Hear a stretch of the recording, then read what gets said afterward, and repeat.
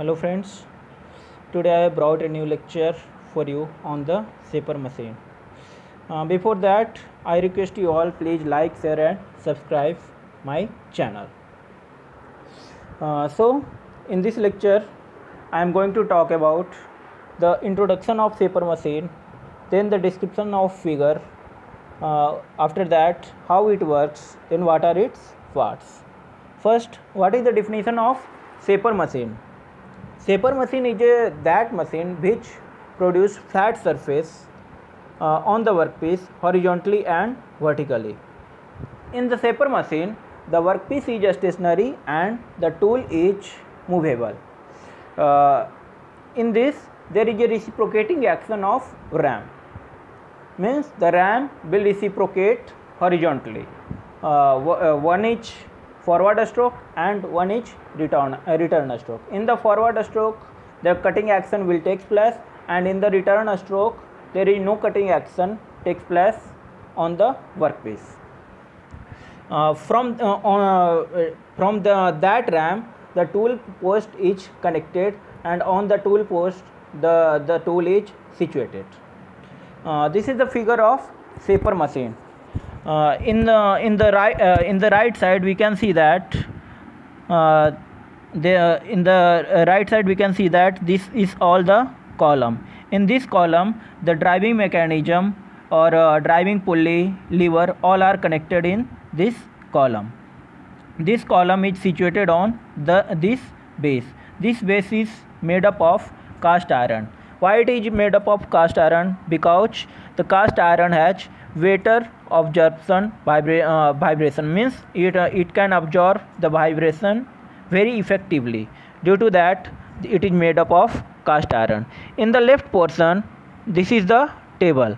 In this table above uh, this table this is the vice and in this vice above this vice the workpiece is situated. We can clamp the workpiece on the vice uh, in the in this table the there uh, there are uh, two things. One is cross rail one is saddle. This is the uh, means uh, the work of uh, cross rail is to provide the vertical motion of the workpiece and the working of saddle is to provide horizontal motion on the workpiece. After that here we can see that this is the ram in the extreme left portion of the ram the tool post is connected. This is the tool post. And uh, extreme uh, and at the extreme left of the uh, this tool post uh, this is the tool uh, and uh, above this tool post we can fix the tool. This tool is single point cutting tool. Here we can see that this is the locating de locking device.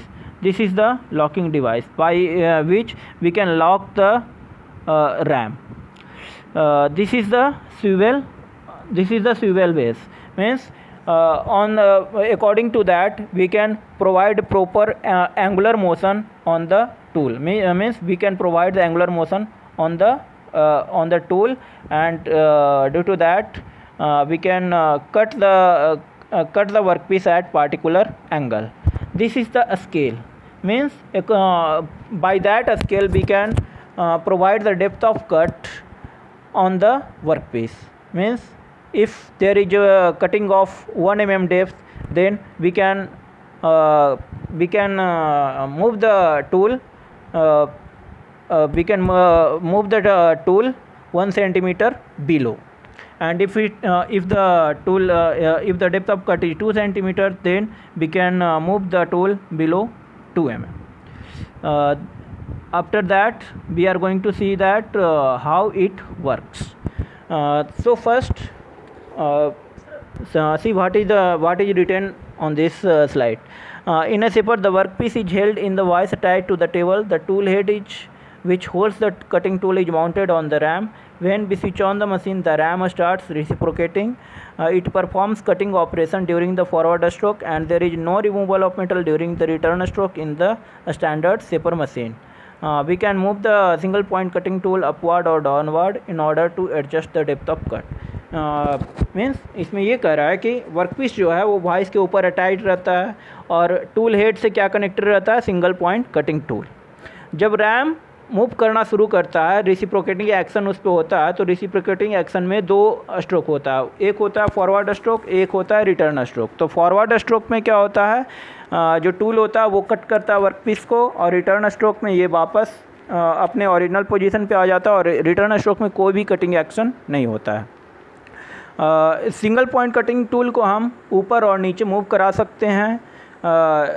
जितना हमें depth of cut चाहिए, उतना जैसे ज़्यादा depth of cut चाहिए तो tool को हम नीचे लाएँगे और कम चाहिए तो थोड़ा ऊपर लाएँगे। तो इस तरीके से सेपर मशीन वर्क करता है।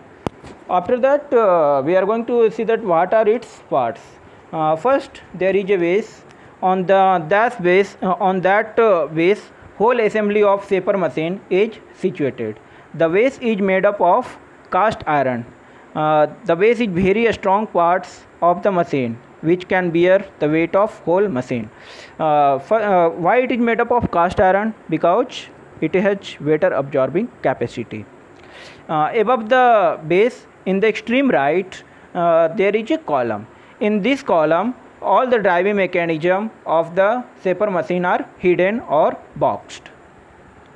Uh, and above the, that column there are two rails.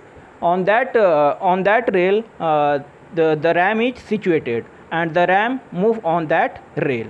Means just like कह सकते हैं कि एक पटरी होता है जिसके ऊपर रैम मूव करता है उसके बाद at the extreme left there is table on that table uh, is uh, uh, above that table the vice is attached and on the vice we can clamp the workpiece Ta table also move horizontal vertical or at particular angle as per the requirement.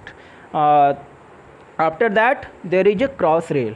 Uh, the table is uh, due to uh, that cross rail we can move the table vertically and one each saddle. Uh, due to, uh, on that saddle we can provide the horizontal motion on the uh, uh, we can provide horizontal motion to the table. And due to that the workpiece is also moving horizontally and vertically. Uh, and last one is ram. Ram is very important parts of the machine which is uh, which is situated on the rail which is situated above the column. There is reciprocating action takes place in the ram.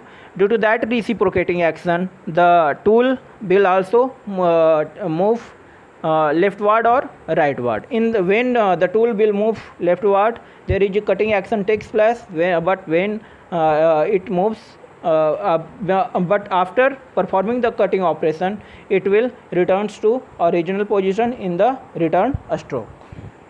So that's all about the saper machine. Thank you.